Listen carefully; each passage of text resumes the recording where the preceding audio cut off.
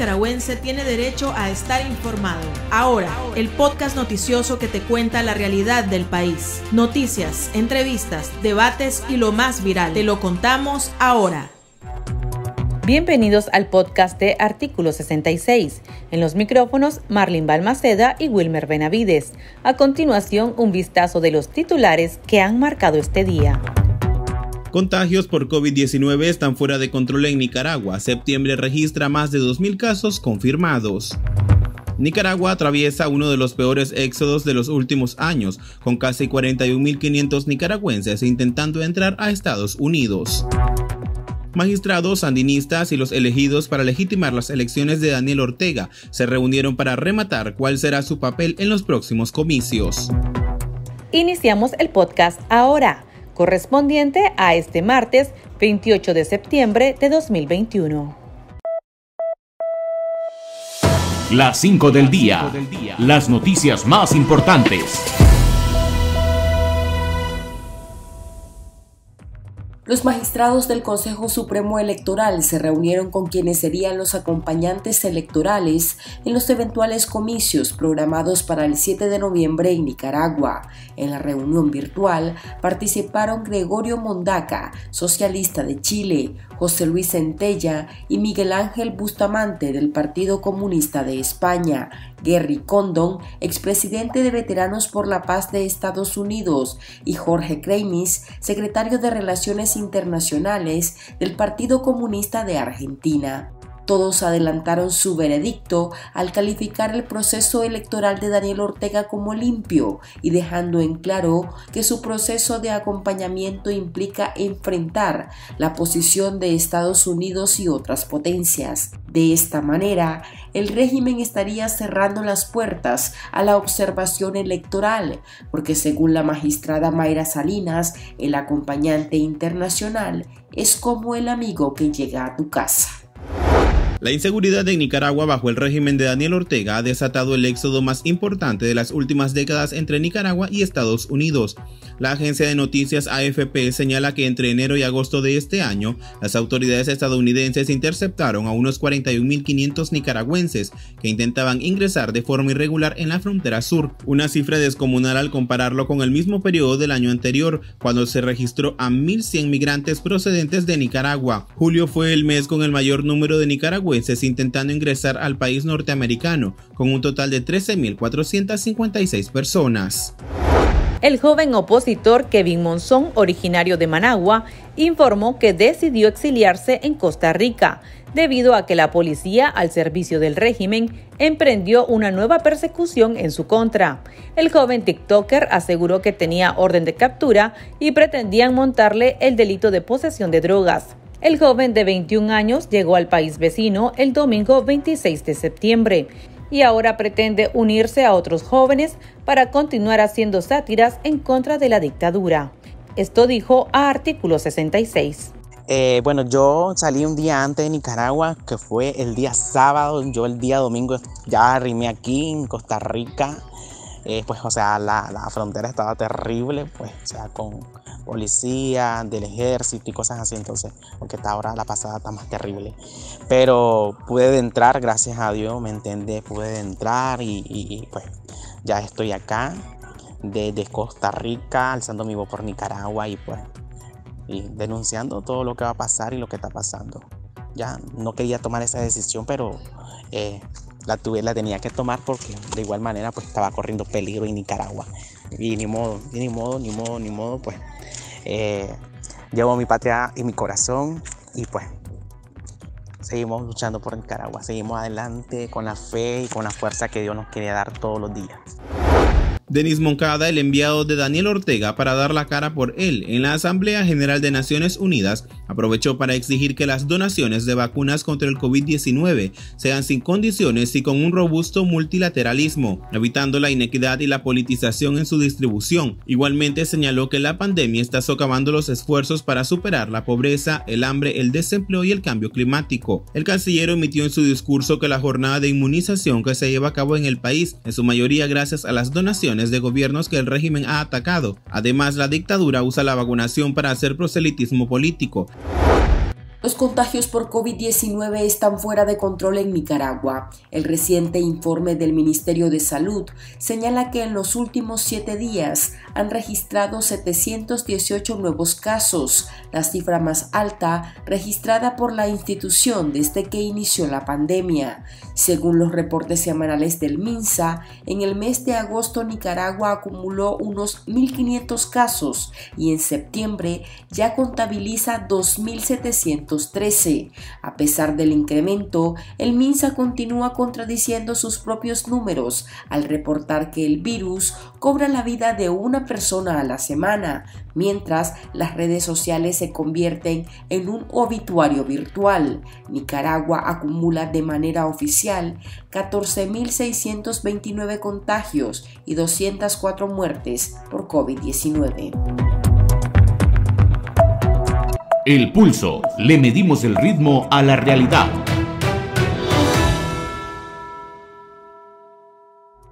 La crisis sociopolítica y económica que vive Nicaragua está provocando la salida desmedida de nicaragüenses que buscan sobrevivir en Estados Unidos, quienes intentan cruzar de manera irregular se arriesgan a secuestros, extorsiones, corrupción, incluso sortean a la muerte. En Nicaragua muchos prefieren apostar antes de continuar en las condiciones en las que se encuentran en esta tierra. Este es el caso de Karen Lacayo y su familia. La hermana del preso político Eduard Lacayo, conocido como La Loba, no ha dejado de denunciar la represión gubernamental y demandar la libertad de los reos del régimen. En búsqueda de su seguridad, se enrumbó hacia el norte junto a su esposo Ramón Sosa, su hijo de 17 años y el excarcelado político Melquisedec López. Hace una semana fueron deportados, pero eso no los detuvo para continuar. El periodista de Artículo 66, Noel Miranda, conversó con Ramón Sosa, esposo de Karen y ex trabajador del Poder Judicial, despedido por razones políticas.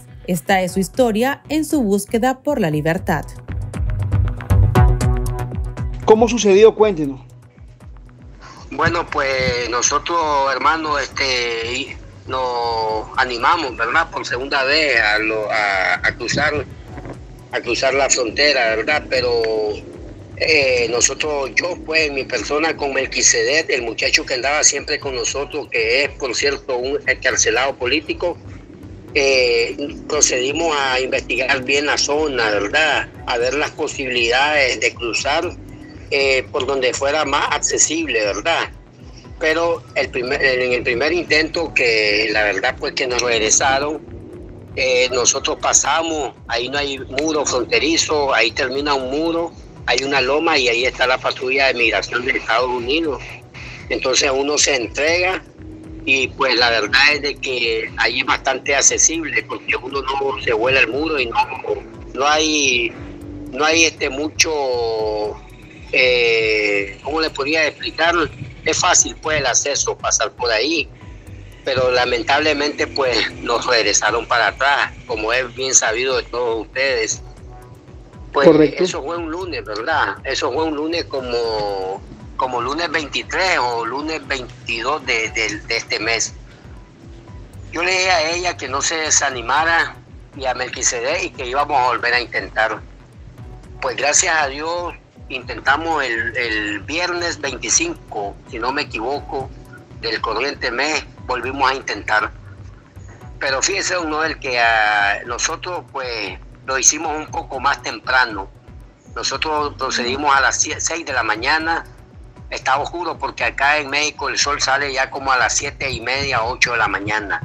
Entonces estaba oscuro, el cual fue una desventaja para nosotros porque salimos, nos perdimos, salimos en, Fuimos al lugar indicado, pero salimos un poco más antes, como una cuadra antes salimos de distancia al punto indicado. Entonces, eso le dio chance a los agentes de migración de México que nos vieran, porque nosotros fuimos eh, bordeando, hay un cauce ahí que divide esa zona. Entonces, ellos nos alumbraron, nos vieron, activaron alarma, eh, y procedieron a interceptarnos antes de llegar a la, a la patrulla de los Estados Unidos fronteriza, ¿verdad? Entonces no nos quedó más opción de que vimos el muro, entonces escalar el muro. Pero usted sabe que ese muro es de unos 10 metros de altura, ¿verdad? Mi hijo eh, ha movido de 17 años por su edad y porque es de contextura delgada. Melquisedec es un hombre también de 31 años y es delgado, pues joven, pues. y mi persona, pues comenzamos a escalar el muro y la verdad es de que, pues, a los, chavales, los muchachos se cruzaron con facilidad, a como pudieron. A Karen le costó bastante. Eh, yo quedé con ella, luchando, luchando, pero no podía, ella se resbalaba, ella no podía, ella llegó hasta cierta altura, pero la verdad que en ese, en ese lapso de tiempo, en estar luchando, eh, Melquisede y mi hijo ya se habían cruzado y ya los había agarrado migración de Estados Unidos, ya le habían quitado su mochila, ya los tenían neutralizados, ya le habían puesto la bota, el pie encima de la cabeza, entonces al ver a mi hijo solo, yo le dije, Karen, dale, Karen, tú puedes. No, me sandaste, no, no, me... Y la verdad pues que cuando llegaron ya lo, en ese lapso de tiempo llegaron los agentes de migración de México y me decían a mí, cruzate, veniste, no te crucé. Entonces pues tuve la opción, tuve la oportunidad, tuve la decisión de tirarme al otro lado de los Estados Unidos, el cual Karen no pudo eh, los agentes de México la agarraron a ella. Ella no quería, la verdad que no quería, pero parece que se, se fue para abajo y ahí fue donde se golpeó la rodilla y no pudo ella cruzar.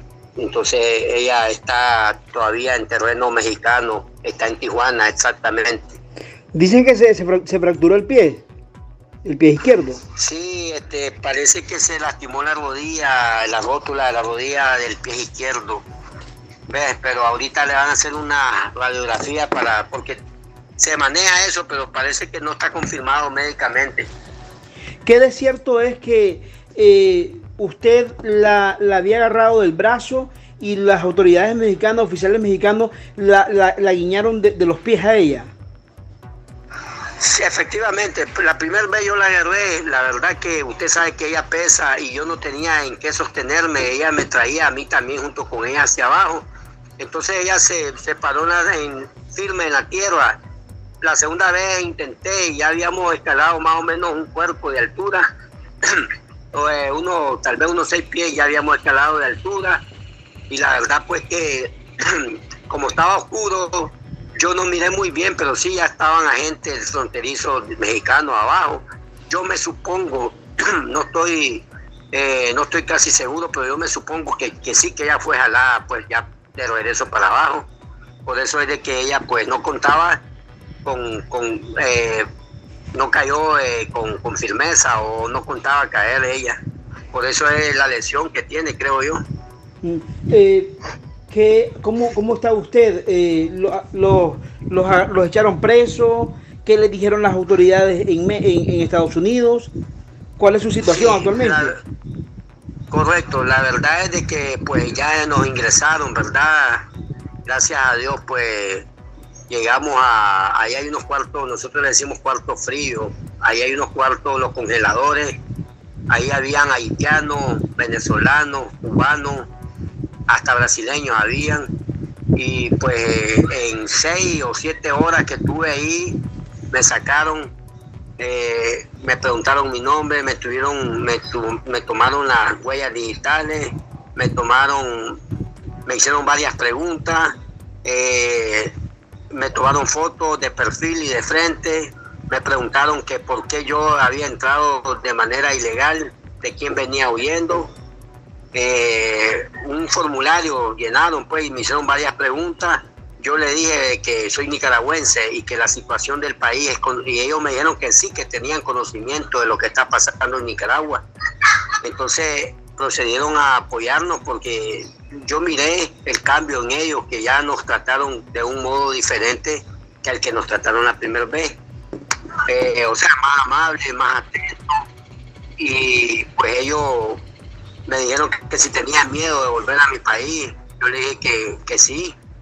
Que temía por mi vida, pues, porque la verdad es que ya este asedio con Karen ya es demasiado, solamente por el hecho de que ella es hermana de un preso político y por pensar diferente y por pedir la liberación de su hermano y de todos los presos políticos, eh, hasta la quieren matar. Conocimiento que ya nos habían seguido hasta México, a eh, personas afines al gobierno. Entonces, pues ellos me dijeron que si tenía acá en Estados Unidos, que me lo escribieran. Y yo pues procedí, yo en mi zapato, abajo, en mi pie, yo andaba un papel donde aparece la firma de mi familiar que me iba a recibir. Me lo pidieron. Entonces al día siguiente ellos me estaban enviando para acá donde mi familiar. Ah, ¿Cuándo? Eh, eso fue el lunes, ¿no? Sí, ya el lunes en la mañana, pues ellos nos, enviaron con una eh, con unas organizaciones que ayudan a los inmigrantes. Eh, eh, eh que es una organización católica, como ustedes saben y el conocimiento de todo el mundo que los católicos, nuestros sacerdotes, nuestra iglesia, nuestra religión es la que nos ha apoyado a, a los que estamos pues perseguidos por este por esta dictadura. Correcto. Entonces usted eh, no está preso actualmente, usted está con su familia. Yo ya estoy, yo correcto, yo ya estoy en libertad.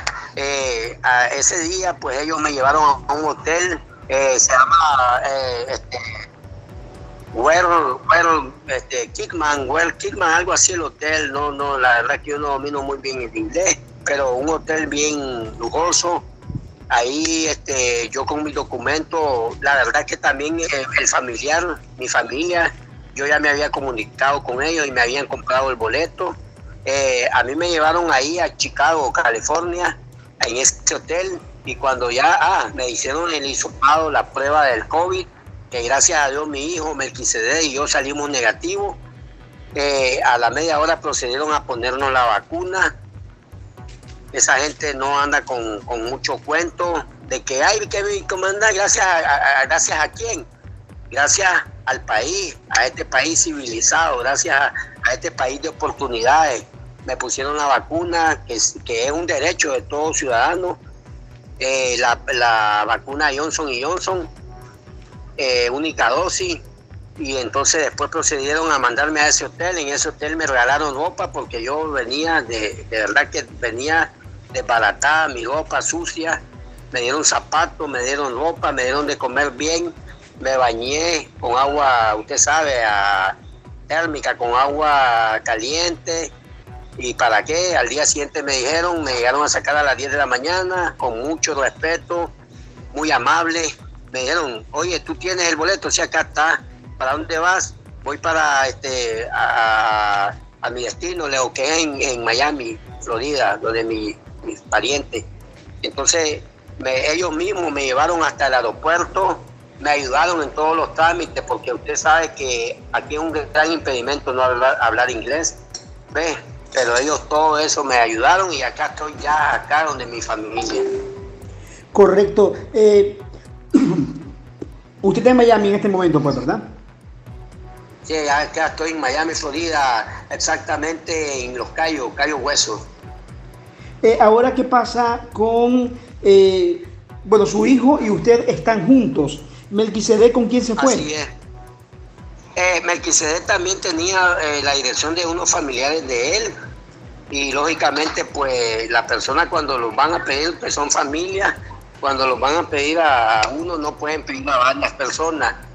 Entonces Melquisede tenía también a una, a una tía de él, que la señora tengo entendido que se llama algo así como algo así. Entonces Melquisede y, y por ironía y por cosas del destino, ¿verdad? También está acá en Miami. Usted sabe que no es inmenso, pero está acá en Miami, donde yo estoy. Ah, correcto. ambos están en Miami. Usted, su hijo y Melquisede. Sí. Correcto. Así es, así es. Correcto. Ahora, ¿qué va a pasar con su esposa, Karen Lacayo? ¿Qué ha sabido de ella hasta en este momento? Sí, la verdad es de que pues yo contacté con un amigo que está allá en Tijuana y la verdad es de que hay que buscar cómo ayudarle, hay que buscar cómo ella, ella está en la frontera, eh, que, que, pase, que la dejen o le ayuden a pasar. No sé, eh, yo estoy pidiendo ayuda, eso es lo que yo quiero también saber o, o, pedir, que me le ayuden, que me le ayuden ya a pasar, porque ya ella está en punto fronterizo. ¿Tiene temor, tiene temor, tiene temor usted que la deporten a ella? Claro que sí, ese también yo me pongo a pensar de que tal vez las autoridades mexicanas, como está con está bajo el bajo el, poder de las autoridades mexicanas, mi temor es que me la regresen, a, porque ellos siempre regresan a uno a Tapachula. Y de Tijuana a Tapachula estamos a dos días de distancia, estamos hablando de 10 mil, 12 mil kilómetros de, distancia. Mm, correcto, eh, pero no, que la deporten a Nicaragua. ¿Tienen temor ustedes? Ah, claro, en su dado caso, que sería peor, sería un caos que me la regresen allá a Nicaragua. Correcto, correcto. Eh, ahora, ahora bien, doña Karen, doña Karen, ¿qué, ¿qué, le logró decir? ¿Cuáles fueron las últimas palabras de doña Karen para usted? Bueno, ella me dijo, no puedo, no puedo subir, este, dale vos podés, Leo, dale vos podés, no puedo, me dice, no puedo, me resbalo, no puedo. Entonces, seguí vos, seguí vos, que el niño ya se tiró, me dijo ella. Entonces, la verdad es de que este niño, si se ha venido solo, ¿quién me lo hubiera ayudado a estar acá? Que ya está acá seguro con mi familia. ¿Su hijo cuántos años tiene? 17 años. ¿Cómo se llama su hijo? Recuérdame. Eh, Ramón Ovidio. Correcto, correcto. Eh, don, don José, ¿Aló? Don Ramón, perdón. Ramón. Don Ramón. Ramón, eh, Alberto Sosa Rugama, sí. Correcto. Don Ramón, eh, ahora bien, ¿va a seguir usted exigiendo eh, o va a seguir tratando de comunicarse con doña Karen? ¿Ha logrado hablar con ella por teléfono? ¿Qué le dice? Sí, la verdad que ayer logré hablar con, con ella, pues donde ella está es un hospital albergue ves también de, de, procedencia de, religión católica. ¿En Tijuana? Dice que ella no se queja, sí, en Tijuana. No sé el, nombre porque la verdad que ni ella sabe cómo se llama el lugar, pero dice que le han ayudado, que le han dado ropa, que le han dado comida, que le han examinado médico, está bien atendida, ¿verdad? Entonces yo quiero que me le ayuden a ella, yo quiero que, que la verdad que alguien pues se digne o no sé, desde autoridad a autoridad, de instituciones a instituciones, alguien que pueda ayudarle a pasar a ella. Porque yo sé que acá, yo sé que acá ya hay conocimiento de ella, que, que le van a, a facilitar o le van a agilizar su trámite migratorio acá. Don Ramón, muchísimas gracias. Gracias por su tiempo. A usted, a usted, don Noel. Para estar al tanto del acontecer nacional y conocer las voces calificadas sobre la realidad nacional, ahora el podcast informativo sobre Nicaragua.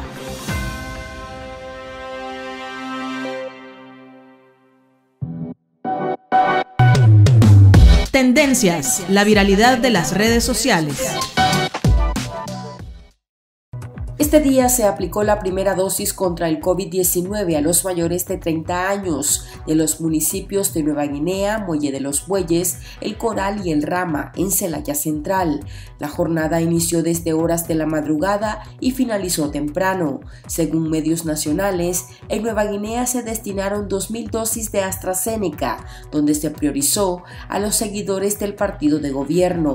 Este martes, la vacunación también continuó en Managua y San Rafael del Sur. Cada vez es menor la cantidad de personas que llegan a los puestos habilitados en la capital, en comparación con el inicio de la jornada. Sin embargo, algunos reportes indican que ciertos centros cerraron alrededor del mediodía. El miércoles 29, la vacunación llegará a la costa Caribe Sur, donde se habilitaron 11 puestos. El régimen no detalla cuántas dosis han sido destinadas y aplicadas en cada municipio. Aquí termina el episodio de Ahora de Artículo 66.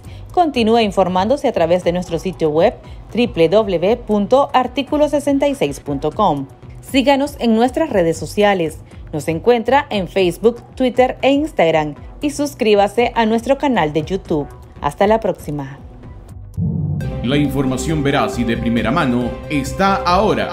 No te perdás el podcast noticioso que te cuenta la realidad del país. Compartí y pasa la voz.